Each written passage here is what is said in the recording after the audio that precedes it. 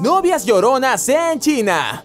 Todos hemos escuchado de difíciles historias de amor en las que tristemente muchas mujeres la pasan muy mal. E incluso algunas son abandonadas en el altar hechas un mar de lágrimas. O por el contrario, existen algunas que en el día de su boda por la felicidad dejan caer un par de lágrimas. Pero les sorprenderá saber que en China llevaron todo a un nivel completamente diferente. Pues las novias lloran durante un mes entero. Aunque parezca muy extraño y no sepan de dónde sacar tantas lágrimas, es costumbre que como parte de los preparativos de la boda, las prometidas lloren una hora al día junto con su madre y sus amigas durante todo el mes previo a la ceremonia. Lo más raro es que la práctica no la hacen por tristeza, sino de alegría por el futuro de la que se casa. Supongo que es mejor llorar durante un mes antes de la boda, hacerlo durante el divorcio. Así que solo espero que todas esas mujeres tomen suficiente agua para que no se vayan a deshidratar.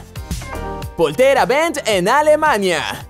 Esta es una de las raras costumbres en las que seguramente ninguno de nosotros ha participado, porque tendríamos que abandonar nuestro país de residencia para evitar que nuestras madres enfadadas acaben con nuestras vidas. Si se preguntan qué podría desencadenar una reacción así, solo imagínense que en Alemania tienen la costumbre de romper todo lo que encuentren de porcelana para propiciar buena suerte en el matrimonio. Así es, justo antes de que las parejas se casen, en vez de la tradicional despedida de solteros, la las familias y amigos cercanos de las parejas se encuentran en la casa de la novia para una aventura informal en la que se solicita a todos los invitados que rompan cosas como vajilla, floreros y hasta tazas de retrete. Cualquier cosa excepto objetos de cristal, pues se supone que el cristal simboliza la felicidad y no debe ser roto. Afortunadamente es un día, pero estoy seguro de que en este lado del mundo nos sacarían a patadas de cualquier casa o restaurante si hiciéramos algo parecido.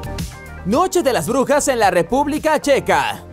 Esta fiesta es muy distinta del tradicional Halloween, empezando porque se celebra la noche del 30 de abril, pero sigue siendo una de las tradiciones más curiosas y mágicas. Se remonta al medioevo, en donde encendían hogueras para quemar a las brujas. Hoy en día es claro que no se llevan a cabo esos escalofriantes castigos a mujeres inocentes, pero como se creía que los malos espíritus arderían solo por estar un poco cerca del fuego, hoy se celebra la noche de brujas quemando muñecos de paja mientras las mujeres bailan alrededor y los hombres saltan sobre el fuego. En esta noche se alienta a las parejas a estar juntas. Y lo más extraño es que mientras nosotros nos desgastamos buscando flores o chocolates para ofrecerle a la persona que nos gusta, los checos son más simples y dejan ramas de árbol recién cortadas en la puerta de las mujeres que pretenden. Supongo que debe ser por eso que mis proposiciones no han funcionado.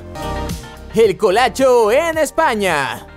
Y sí, esta es una actividad que haría que la mayoría de las madres del mundo tuvieran un infarto. Pero los habitantes de la pequeña comunidad del Castrillo de Murcia, en el norte de España, participan cada año en el salto sobre bebés. Esta tradición, nacida en el año 1621, viene de la creencia de que el salto alejaba cualquier tipo de mal de los niños. Seguramente estos padres no conocen las manillas contra el mal de ojo, que implican muchos menos riesgos. Y entonces, cuando inicia la fiesta católica del Corpus Christi, hombres vestidos como el diablo corren y saltan por las calles como si estuvieran participando en los Juegos Olímpicos, pero con la gran diferencia de que pasan sobre los infantes que están acostados en colchones por las calles. Este festival ha sido declarado como uno de los más peligrosos del mundo. Pero bueno, supongo que todos pasan el susto finalmente con el vino, el queso y el pan, que reparten gratuitamente al terminar el día. Bayanihan en Filipinas. Tal vez la única costumbre que he visto que hacen algunas personas cuando se mudan es despedirse de la casa que están dejando, por lo que la tradición del Bayanihan me sorprendió. Los habitantes de Filipinas tienen una peculiar costumbre con la que están mucho más cerca al comportamiento de los caracoles, y cuando se mudan lo hacen con la casa a cuestas. Esta tradición consiste en que cuando una familia decide vivir en un sitio nuevo, transporta su antigua casa hasta la ubicación deseada. Esto con la ayuda de sus familiares, amigos y vecinos. Claramente en la actualidad esta práctica ha desaparecido casi por completo, porque las viviendas modernas son más grandes y están construidas con materiales más pesados que son imposibles de transportar. Aún así, de vez en cuando, en los pueblos pequeños que conservan sus casas construidas en bambú, ocurren estos peculiares casos de mudanza. Y para ser honesto, se me hacen completamente alucinantes. Krampuslauf en Austria, Baviera y Suiza.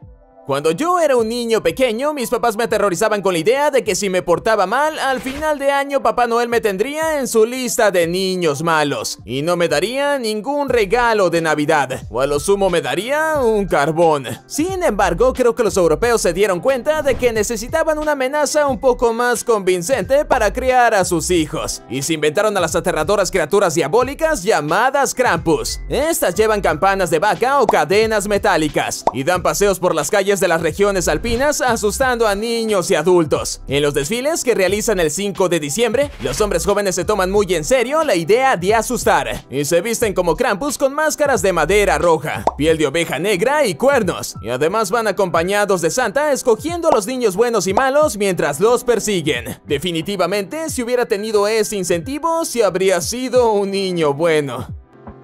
La Epifanía en Rusia.